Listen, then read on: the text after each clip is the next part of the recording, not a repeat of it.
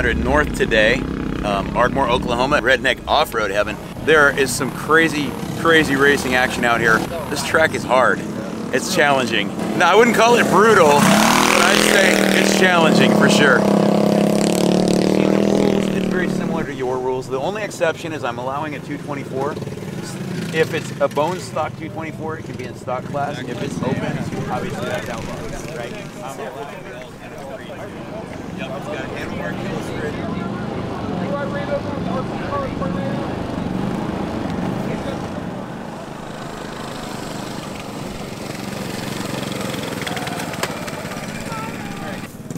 Yeah, I've I've got a chain guide on mine too, like a dirt bike. But I noticed as soon as you sit on it, boom, it, nothing's touching. Last week. That's how mine is. Catching rocks and stuff. A lot of it. Yeah, stop when you're gonna make Yeah.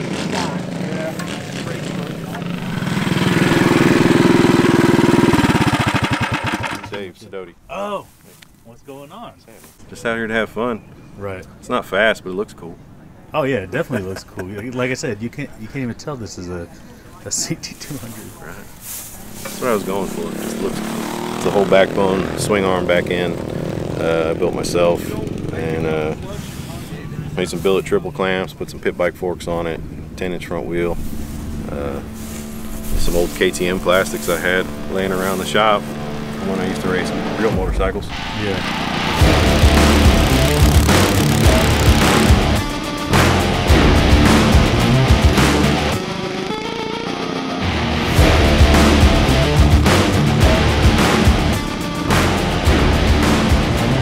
All right, so what started out life as just a regular uh, MB200, the GPS 180 came up, and so we got the front brake kit, we got the shock mount kit.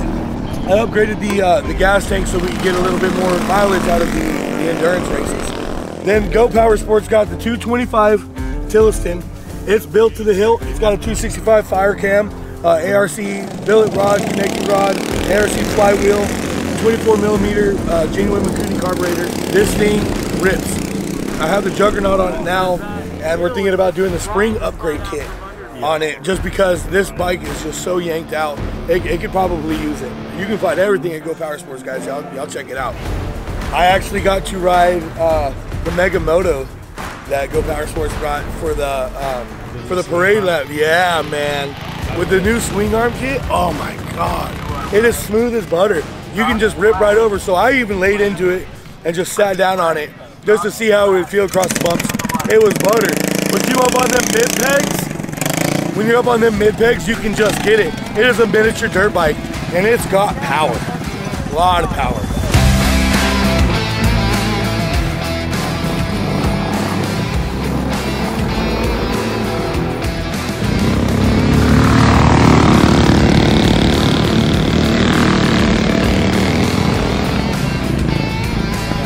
I'm Andrew Porter, yep. Yeah, yeah. And you usually race. What do you usually race? I usually race a hardtail uh, uh, Coleman, the CT 200 EXU or whatever it I remember seeing you last year Yeah. killing it. Yep, so Yeah, that's why I happened usually. this year.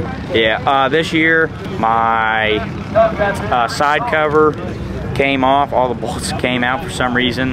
Um, I don't know if it's because I kind of went first lap. I had hit a big puddle of water and really kind of came up over the bike, and I think I got some on the intake, and it might have gotten the engine, and then uh, essentially blew the, the side cover off. But so very appreciative. Go Power Sports, thank you. Yeah, foot peg came off. I think over in that corner, I hit a. I was turning pretty sharp, and I hit a rock, and then uh, I don't know. That was maybe five or six laps into the race, and then I basically had to hold my left or my right leg up the, the rest of the race. Yeah, I had snapped it right there. So foot peg. because it had bent back and at first I thought it was like on the other side here and it had just bent back and it was stuck up so I was trying to kick it back but it I had snapped part of the frame swing arm kit. How'd you feel about it? swing arm kit was awesome since I had lost that foot peg and I had to sit down pretty much the entire time I could still basically full send it and the rear suspension would just travel and, and do all the work for me. yeah. I didn't have to really do anything. The bike did everything. It's it's an amazing bike and it's worth worth a buy for sure. Yeah, tires. I hadn't ran those tires before. and uh, but I was I was really impressed. It it uh, it kind of gave me when I wanted to kind of drift, to get around a corner, it had that power, but it also had the power to grip and, and kind of sink into the ground and push you out of the corners as well. So Andrew Porter laying down some pretty serious lap times without a foot peg. It an awesome and I'm ride. hearing that you, you're at least contending for maybe fastest lap. Uh, hey everybody, I think Carl, I think Carl beat me on the last lap. Find out. Good job, though. Thank you, appreciate it.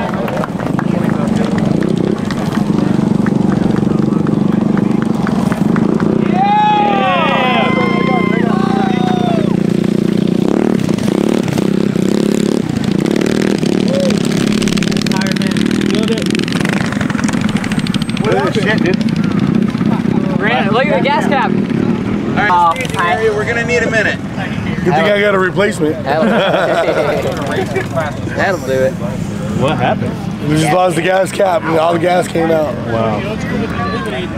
And then he pushed. he pushed half a And mile. still is like cont- up in contending for a fastest lap, right? Yeah. Oh yeah. Killed it. Was yeah, Carl Carl's got a beat up fastest lap, but he did have one of the fastest laps. Yeah. We are proud of him. Yeah. Good job, man. So we just got done with the Lime 100. How do you feel about it? It went pretty good. The truck was pretty solid. I rode the soft tail, so it felt nice and squishy out there. Any issues while you're riding? I had a belt fly off, tear up, and then uh, the chain pop off. Uh, other than that, we tightened up the chain. It was good. Dope. Bike ran good. And then the last lap, you lost the. Oh yeah, and then the last lap I lost the gas cap.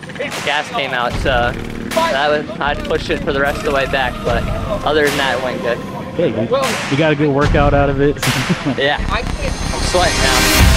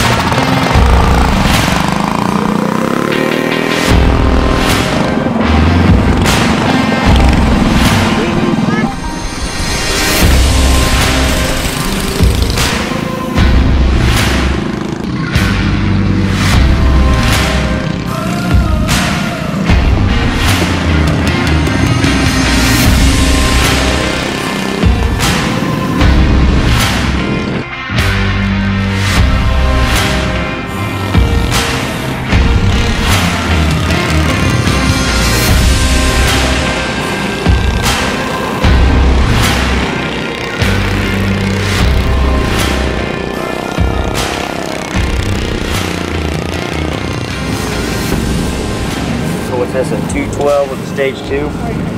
Um, 225. Oh, it's 225. Oh man. You're gonna be so sore.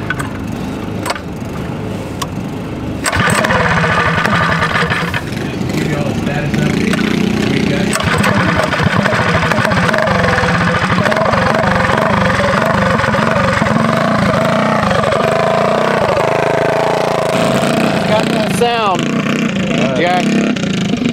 Yeah. Doesn't really sound like a gas motor.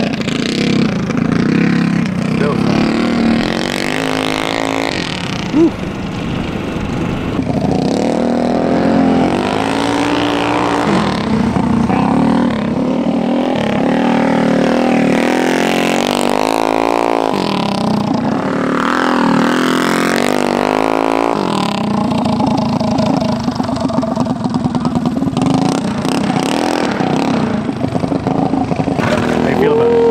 that's a lot of fun. That's a lot of fun. I love those tires. How they they're kind of like the same. They'll slip when they'll slip when you want them to, but they'll grip when you need them to as well with that much power.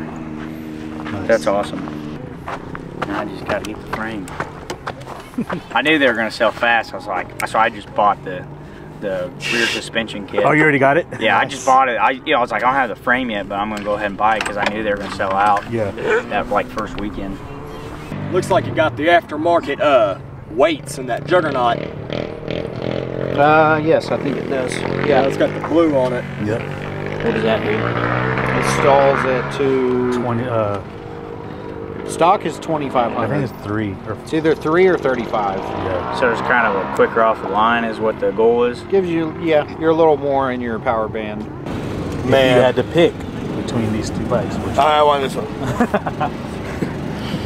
now, this bike, don't get me wrong, That thing. this thing is bad, bad mo effort, man. But this thing right here, oh, I don't know. It, it's got to be the just the stance of it, the wheels of it. Like I felt like at first I was I was riding the MB all the time, you know, and it's such a big bike to hop on this and feel the difference in it. Like this rear swing arm kit is pretty amazing. Like it doesn't feel like at first that you're riding a Softail until you start hitting some of those bumps. Yeah. And then it just just traveled right through it. And even on the smooth track up there, he just cleaned up. It was just cruising. Yeah. And it was flying around them corners. I could just really dig in. nice. It was a lot of fun. We're gonna change some of these. Any of the guys that aren't here, we're gonna go DNF. Here, let me see.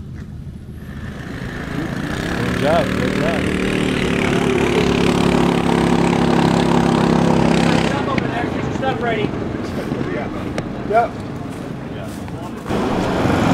All right, so they're saying this is a bonfire. That is one big bonfire, huh? So I was talking about Go Power Sports and our sponsorship here, right? They sponsored three great prizes. They really did.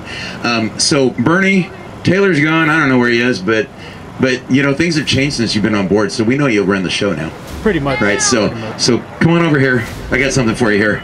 Poncho specifically built this really cool Lime 100 trophy for Go Power Sports. As thank you for uh, the work that they're doing with us. So we appreciate that very much.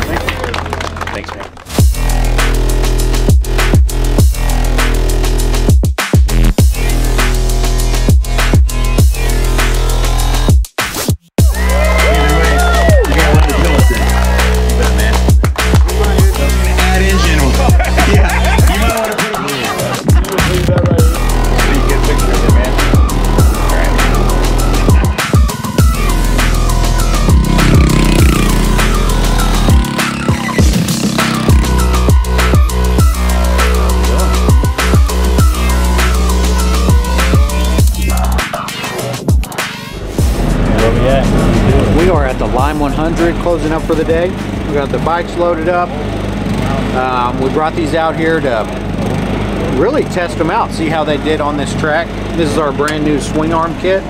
We had Andrew Porter ride it, which he did super awesome. Unfortunately, he broke a peg shortly into the race. What was that, five laps in or something? Yeah. And he still got third place in the Softail Outlaw. So third place with a broken peg for, you know, almost the whole race. He did awesome. It was just coincidence. We had this bike here. Nobody was racing it. His bike broke for his hardtail race.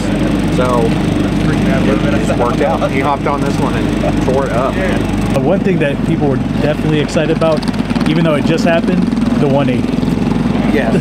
Everybody's talking about it. They kept bringing it up. I think the 180 this year is going to be awesome. I hope everybody here goes to the 180. I want to hit 100 people this year, 100 bikes. Uh, but the line was sweet. The track, I hear nothing but good things about the track. Great turnout. Yeah. There must have been 50 bikes here, At least. but pretty much everybody's gone now. We're one of the last cars here. Ready to hit the road? Yep, let's go. Good.